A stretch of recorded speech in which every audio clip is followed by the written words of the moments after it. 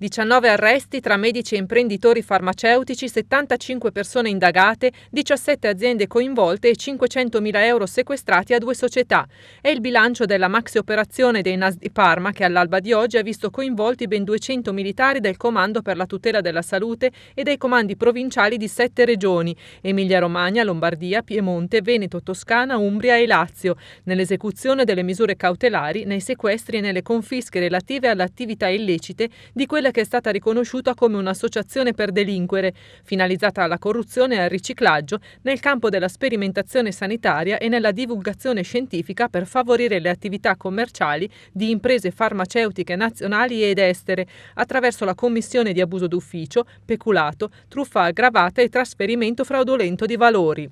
I medici e gli imprenditori arrestati erano attivi nella commercializzazione e promozione di farmaci e di dispositivi medici. Le società sequestrate erano state appositamente allestite per il riciclaggio del provento delle attività illecite. Da qui anche la confisca di quasi mezzo milione di euro, quale profitto per la commissione del reato di corruzione. Secondo il NAS il sistema corruttivo girava attorno alla figura di un importante dirigente sanitario pubblico, il professor Guido Fanelli, titolare di numerosi incarichi anche a livello nazionale, oltre che regionale, per quanto riguarda la trattazione della terapia del dolore, con potestà decisionale in materia di ricerca scientifica e terapeutica, raccolta di dati e sperimentazioni cliniche. Lo scopo era quello di guadagnare favorendo alcune case farmaceutiche intenzionate a creare proprie zone di influenza con la diffusione dei loro prodotti farmaceutici. Pertanto venivano condotte sperimentazioni cliniche illegittime su pazienti inconsapevoli e preparate ricerche per sostenere e promuovere le case farmaceutiche coinvolte e i loro prodotti,